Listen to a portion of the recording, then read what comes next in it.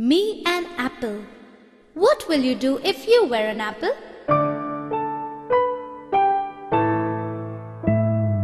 If I were